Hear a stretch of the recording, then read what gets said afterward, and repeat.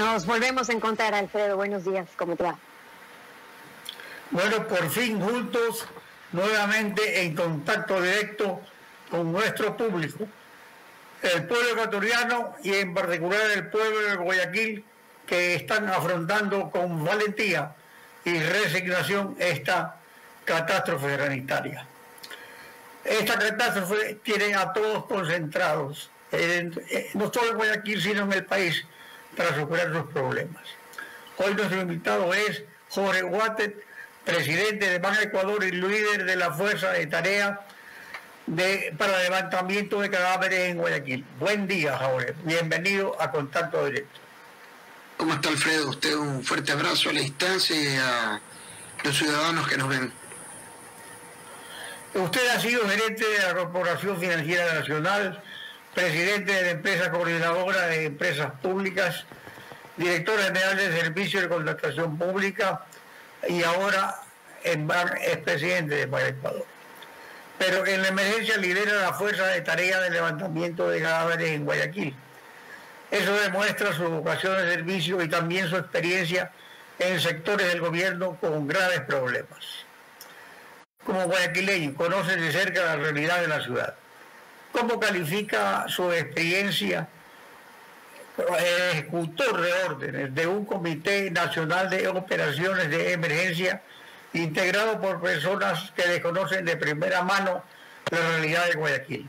Ese comité debe funcionar en Guayaquil o el de Guayaquil debe funcionar con representantes de la sociedad civil y hacerlo con autonomía sin esperar decisiones de telecomando.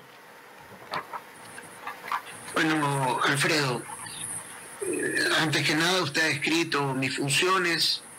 Eh, lo que yo le puedo transmitir es que hubo una solicitud del señor presidente que me haga cargo de hacer esta coordinación, esta coordinación logística más que nada, conseguir cosas que se necesitan en este momento, eh, incluyendo puntos de entierro, porque hay que enterrar gente, y asumir la responsabilidad con todas las ganas y valentías, esta es mi ciudad también, y la y me duele como le duele a cualquier guayaquileño lo que está pasando aquí, independientemente de las causas.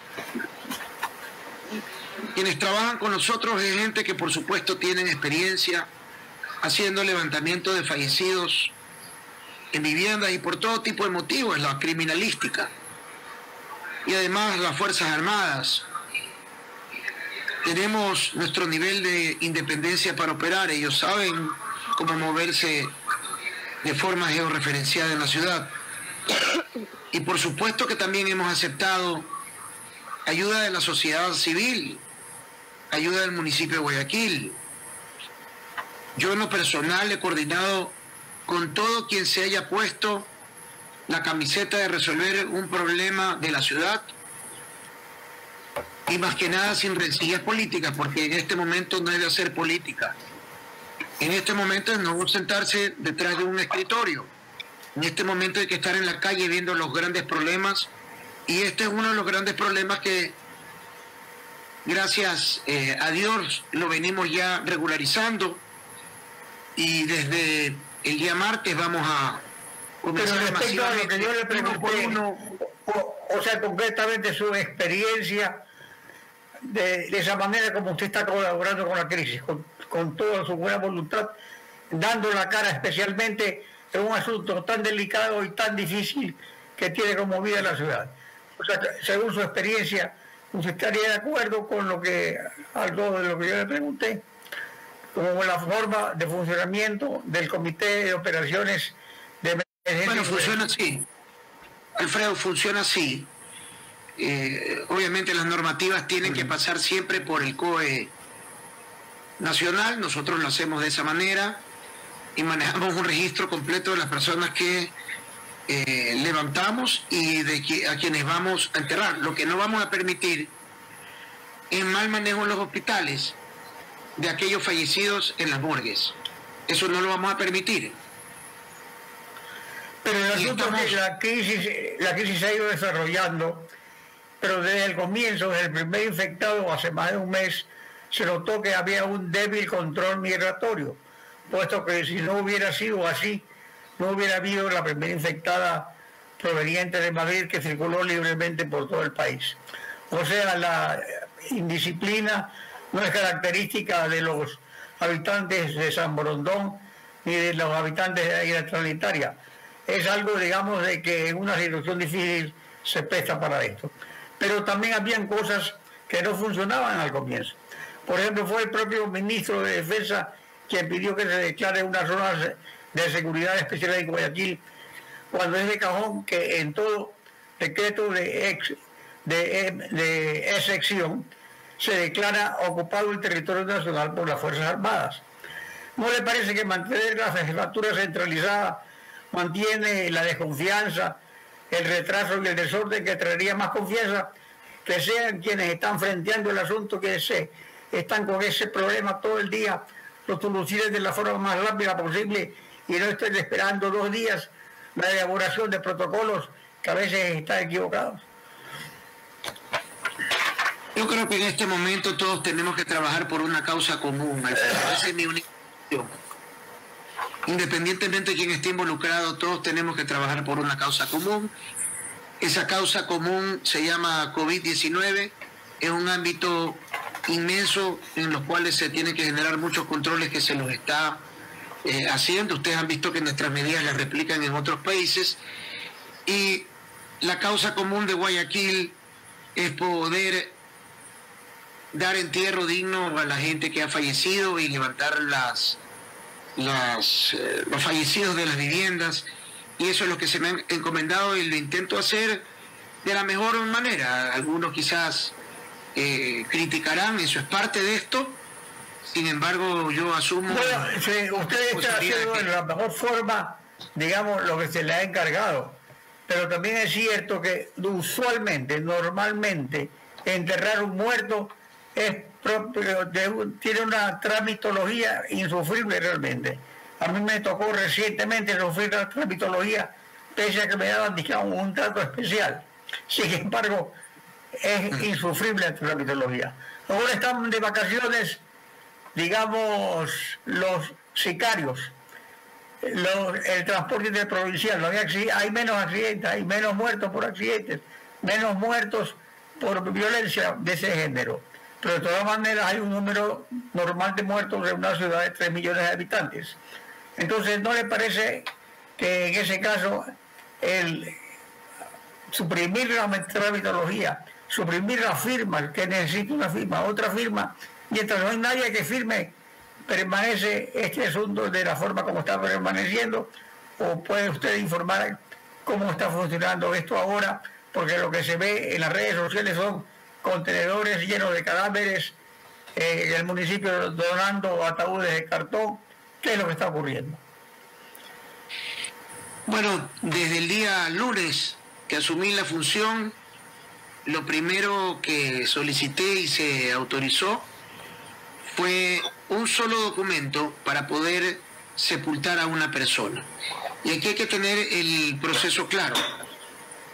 Ese documento es el certificado del INE, el mismo que nosotros inscribimos y nosotros lo estamos haciendo dentro del registro civil para poder contar como esa persona como fallecida. Pero el levantamiento de cadáveres, eh, Alfredo, no solamente es un trabajo que le estamos haciendo nosotros, sino lo que hemos hecho también es agilitar a las funerarias privadas a que puedan hacer su trabajo. Este ha sido un trabajo que siempre lo hacen las funerarias de los camposantos, no el sector público hemos tenido que sumar al sector público para poder ayudar la incapacidad que tuvo los funerarios y los camposantos de enterrar. Hoy todos estamos de forma acelerada y rápida haciendo el trabajo. La gente que esté yendo al Instituto de Inspección de, Infectología esté yendo a sacar un certificado que no es necesario. Y les tenemos que comunicar ahí que no es necesario. He solicitado que cierren esa ventanilla y a los ciudadanos que llaman al 911 o al número de WhatsApp que hemos puesto nosotros, a través de las Fuerzas Armadas le estamos yendo nosotros a ir a entregar el certificado de función para que ellos hagan el trámite con la funeraria.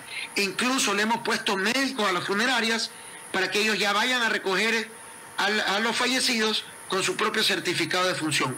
Esto es, como usted bien lo dice, dar facilidades y a eso me he dedicado toda una semana trabajando. Y esta es mi segunda semana de trabajo en el cual vemos resultados como el que los números de fallecidos que nos toca recoger el día de hoy a nosotros, que ya no están ligados a los que van a recoger la funeraria, son 55. Eso nos pone al día. Sin embargo, todos los días entran llamadas de gente que por el colapso del 911 en algún momento eh, siguen buscando la necesidad que lo recojamos. Y así vamos Ahora, pero por otra parte, cumplir. Por otra parte, vemos que en todo estado de sección se contempla la requisición de bienes que se necesitan para el estado excepcional. Ahora, por ejemplo, se requieren camas, medicinas para los enfermos, camas para los que regresan al país y tienen que alojarse fuera de su casa, transporte aéreo de carga entre Quito y Guayaquil, por ejemplo, para que las pruebas de los exámenes a los posiblemente contagiados no demoren tres días. ¿Por qué no se requise entonces aviones, cementerios, medicina, hoteles, establecimientos educativos, para que haya sitios donde atender a los enfermos, para que haya una comunicación más expedita entre Quito y Guayaquil a fin de que estén equipados, por ejemplo, el personal sanitario, que no estuvo en su momento tampoco debidamente equipado. Pero, pero Alfredo, se requisaron 40.000 mascarillas y lo que tuvimos fue el reclamo del sector privado por hacer una requisición diciendo que estamos generando desconfianza. Entonces, hay que tener claras las ideas, su criterio es el adecuado, camas, hoteles, etcétera, están totalmente funcionando a favor de la emergencia. No es necesario requisar este, cementerios, tenemos nosotros espacios para enterrar, ese no es el problema, el problema era el volumen y la logística. Y a través de nosotros y también con la ayuda del municipio se está ayudando a los cementerios privados y a las funerarias a hacer más rápido su trabajo. Un camposanto antes eh, enterraba dentro de la emergencia 30 a 40 personas, hoy ya entre 120 y una hasta 150 personas. Eso nos ha permitido acelerar notablemente y cada vez las personas que tenemos que retirar de viviendas es menor, pero es un trabajo que depende de mucho. Usted tiene que ir con delicadeza, tiene que retirar el cadáver, tiene que llenar y entregar el certificado de función a sus familiares. Todo ese trabajo, uno por uno, nos toma entre 20 y 30 minutos por persona. Entenderá un equipo de 15 vehículos que están dándole la vuelta técnicamente a la ciudad. Esto no es de agarrar personas como bultos, como usted bien lo dice, y tirarlos. Es por eso que he sido crítico con el manejo de cadáveres en los hospitales a los gerentes de esos hospitales que tienen que tener las debidas precauciones. Después no se van a, a lamentar por las situaciones legales que ellos puedan incurrir por cualquier mal manejo de las morgues y eso ha sido comunicado a los respectivos eh, ministros que ellos también están preocupados eh, por la situación y se están tomando todas las medidas que sean necesarias porque hay que tener antes que nada dignidad y nosotros como Estado no podemos permitir eso en ningún en ninguna de las áreas que estamos atendiendo. En lo sanitario se han venido maquillando cifras no reconocidas del propio presidente de la República, especialmente que se ha concentrado en Quito en los exámenes de los posibles contagiados. Esto ya ha terminado, ya se va a instalar los, exámenes rápidos, pero ¿por qué se, puede, se tiene que aceptar ahora este retraso? ¿Por qué no se lo hizo oportunamente? Estas son las cosas que aquí en Guayaquil tienen la sensación de que podrían funcionar mejor y más rápido si tuviese el Comité de Operaciones de Emergencia las facultades necesarias para tomar disposiciones de inmediato y ejecutarlas. A ver, Alfredo, eh, yo no he hecho eso. Eh, lo primero que a mí me pidió el presidente desde el día lunes que asumí fue decir la verdad y lo que hice fue salir a decir la verdad en una, en una cadena nacional y creo que eso es lo que se tiene que hacer. Y la orden del presidente es decir la verdad. Obviamente las cifras de COVID comprobado están relacionadas a gente fallecida que fue, que su prueba de COVID fue hecha y salió positiva. Y por supuesto la capacidad de hacer pruebas no es grande ni alta, ni en Quito ni en Guayaquil, ni en Quito ni en Guayaquil. Entonces, lo que se decían de que las pruebas iban a Quito eran los Pero el problema es, laboratorios privados. en ese caso, de que eh, al demorarse el resultado de la prueba, se demora también la atención al posible contagiado, pues. Ese es el problema. No tanto que se, se ralentiza, se, se desacelera conocer el número de contagiados, eso no importa. Lo que importa es atenderlos. Lo entiendo. El Alfredo, el problema es el colapso, es el volumen. La, ninguna ciudad en el mundo estaba preparada para esto. España, dígame una ciudad que estaba preparada, o en Italia, o en Estados Unidos. Pero, en Corea del Sur, por ejemplo, utilizaron con velocidad, con mucha rapidez, eso del examen rápido, que recién ahora aquí se va a utilizar. Hay que ver si estaban, hay que ver si estaban preparados, algunas de esas ellos sí lo estaban, pero otras ciudades en el mundo no. Le, pongo de ejemplo Nueva York. Nueva York han tenido que ir a requisar también mascarillas, equipos médicos al sector privado que los estaban escondiendo para, para especular. O sea, esto es un problema mundial, Alfredo. Yo, yo ahí sí eh, eh, tendría un poco que discrepar. Eh, todos exigimos rapidez, inmediatez, y yo, yo también lo hago, pero hay que entender que esto es una situación que en todos los países ha salido de las manos y estamos haciendo todo lo posible y también compitiendo con las solicitudes de todos los países, pidiendo lo mismo, pidiendo pruebas más rápidas, pidiendo aparatos, pidiendo equipos a, fábricas o a laboratorios que quizás tampoco tienen la velocidad para poder entregarle, la respuesta, entregarle a otros países, ¿no? La respuesta en efecto es, buena del sector privado que está haciendo un aporte económico hasta este momento que sería casi igual al, del Banco Mundial, de unos 40 millones de dólares entre los fondos que han aportado los bancos, los compromisos de la empresa privada. Le vuelvo a decir, no es mi, no es mi área, pero mi agradecimiento eterno, no solamente a la empresa privada, a todo el sector público que ha estado vinculado a esto. Esto aquí es un trabajo de todos, a los propios medios de comunicación, por hacernos conocer lo que está pasando. A nosotros que estamos, por más que estamos en un área, no podemos estar físicamente en todos lados. Aquí esto es una acción de todos y en lo personal yo seré el primer agradecido por ayudarnos a hacer esta tarea y por ayudar no solamente a la ciudad, sino también al país en lo que sea necesario para resolver un problema eh, sanitario y luego será un problema económico. En lo que concierne a su problema específico, ¿cómo le puede garantizar a todas las personas que están debidamente identificados sus cadáveres, sus muertos, sus seres queridos que han fallecido? los que nosotros recibimos sí, y nosotros eh, ejercemos presión a las morgues de los hospitales que lo hagan de esa manera. Yo no, lo que no puedo yo controlar es que una morgue haya cometido una equivocación, porque nosotros una vez que recibimos al fallecido, lo recibimos etiqueteado con nombre, etcétera, y nosotros no nos involucramos en abrir eh, ya esos, esos, eh, esas bolsas, digamos, ¿no?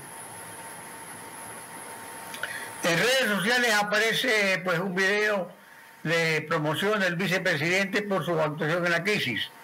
El régimen propio, en la vicepresidencia lo ha desmentido. Hay una gran respuesta solidaria por otro lado de otros sectores, de todos los sectores también. Este, ¿Qué nos podría decir respecto a estas a estos videos que aparecen como haciendo publicidad de una gestión que es un deber de los funcionarios públicos? Nadie está haciendo política en este momento que yo sepa. Yo por lo menos estoy en todas las reuniones con todos, nadie habla de política, nadie habla, lo que hablemos de informar a la ciudadanía lo que se hace. Se dice que no hay medicamentos, se tiene que mostrar que existen medicamentos. Se dice que no hay equipos, se tiene que demostrar que no hay equipos. Se dice que no hay infraestructura hospitalaria, yo creo que tenemos de sobra. Ahorita tenemos hospital, imagínate, imagínense lo que nos hubiera pasado si no tuviéramos el Hospital del Sur, no tuviéramos Monte Sinaí y no tuviéramos los Ceibos. Tenemos infraestructura hospitalaria, hay que utilizarla bien, hay que hacer todo el trabajo que sea necesario para, para poder hacerlo. Tenemos el apoyo de la empresa privada, tenemos el apoyo de las clínicas privadas también que están haciendo eh, lo suyo, estamos utilizando todo lo posible para esto trabajar y que se comunique a la gente para que la gente esté tranquila. Eso es importante, generarle y transmitirle tranquilidad. No hacer campaña política, si nadie está haciendo campaña política. Le vuelvo a decir que la gente lo interpreta de esa manera. eso ya escapa de nuestras manos. Lo importante es la confianza. Y para eso tiene que haber transparencia y tiene que haber acciones inmediatas de solución a los problemas. Gracias por habernos acompañado en contacto directo. Después de la pausa viene Pablo Arosemena.